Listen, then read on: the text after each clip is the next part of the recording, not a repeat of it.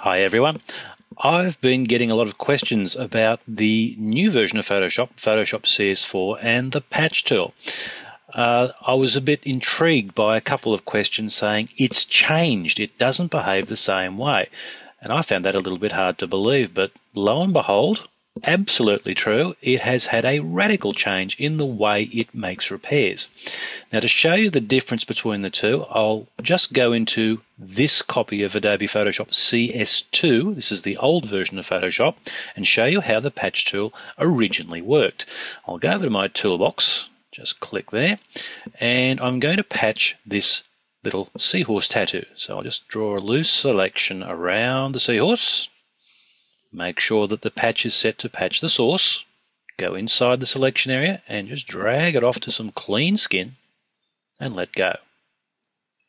Deselect, that's Control D or Command D on the Mac. Patch is done. This is all fairly typical and standard. If you've been using the patch tool a lot, you'll be doing this in your sleep. But in the new version, there is a very big change. Let's go and have a look.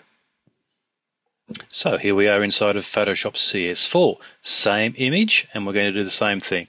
Going to go over to the tool panel, grab our patch tool, make the same sort of loose selection as we always do with the patch tool. Go inside, it's all set to go to source, everything's the same. Drag it off to the patch of clean skin that we used before, let go, and oh my god, what a hideous bruise. What is going on? Well, basically what's happened in the new version of the patch tool is it's much more sensitive to the luminosity values that it's blending with.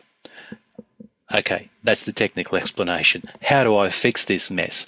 Well, in fact, this is a, an improvement, believe it or not. It will mean a little bit more work, but the results will tend to be a bit better. Here's all you've got to do. Go back inside of the selected area for patching and just do it again. Just drag it over to the patch of clean skin and drop. Bruise begins to fade away. Now you're thinking, okay, why do I have to do this so many times? What's the big advantage of doing it this way? Take a look at this.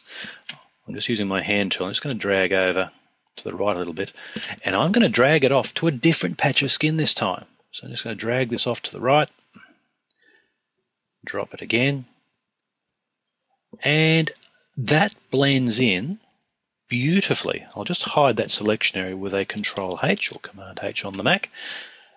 I think that gives a terrifically good result. The reason why I like this is because you now gradually build up the change. It will still wipe out things in one smack if it's a simple, small thing like a hair you're getting rid of. But if it's a big, very dark blob, it's going to need several goes to get the result you're after.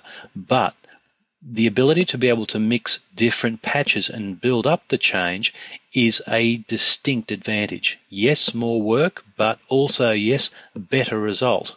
So I think this is an improvement.